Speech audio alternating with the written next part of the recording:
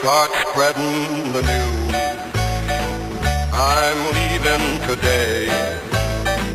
I want to be part of it. New York, New York. Hey everyone, this is going to be a spring and summer guide for visiting New York City. My parents were visiting recently, and I took them to a bunch of different sites in the city, and I thought this would be a great opportunity to show you a little bit of a travel guide for this time of year when it's nice and warm out. So we're starting with farmers markets. This is the one that we went to in Union Square. I definitely recommend wandering around it. Another stop that we went to was Dough in Greenwich Village. This was one of the only times that I haven't seen a line there. It was amazing. It's an edible cookie dough place, and you can get scoops of cookie dough. You can get cookie dough to take home. You can get some in cones. It's really, really good. I definitely recommend it. So that was our next stop.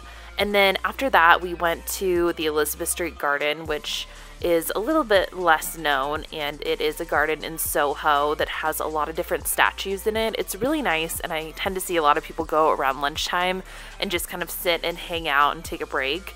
It's really beautiful. They are kind of worried about being shut down, so they have a petition. So if you happen to be going by, I would definitely encourage you to sign their petition to keep them going in Soho. It is a really nice little place, and you don't see a lot of that kind of thing in the city. So this is definitely a little hidden gem, I would say. And then the next stop that we went was Prospect Park in Brooklyn. We did this all actually in one day. So we went over to Prospect Park. We just took the train and we kind of wandered around. I hadn't been to Prospect Park before, and it was really beautiful. It's kind of like a not quite as maintained as Central Park, and those are some turtles. I wasn't sure if they were alive or not, but they were definitely alive. And we just kind of wandered around. There's a zoo in Prospect Park, that is a boathouse. It's a really beautiful, huge, spacious park. Really nice around this time of year just to kind of get lost in, to have a picnic, what have you. It's a really big, beautiful space that's all the way out in Brooklyn. So that was kind of a fun area to check out. Definitely recommend it and we'll go back.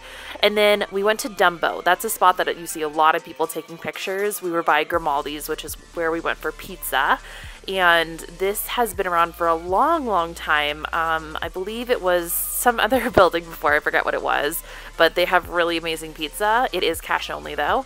And then another place that I've recommended in a lot of travel guides is the Met. This is just a really great place to go see some art. You can pay whatever you want so you don't have to pay the full admission to get in. Also, if you have a New York City ID, you can get a free one year membership. We looked at the fashion exhibit that they have going on right now, they rotate it every year. And then there's also another exhibit for a famous photographer, Irving Penn, and he did a lot of um, work with Vogue. He was a Vogue photographer for a long time, so that's an exhibition that's going on right now.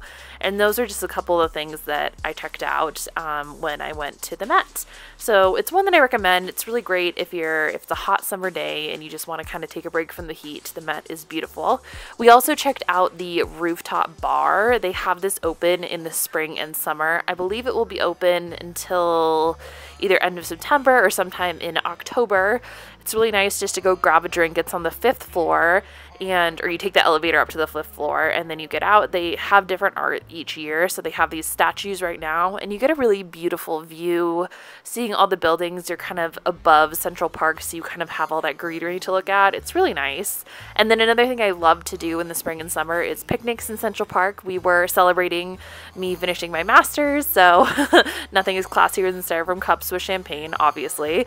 And then we went to cafe lalo after which is on the upper west side and it was in the movie You've Got Mail.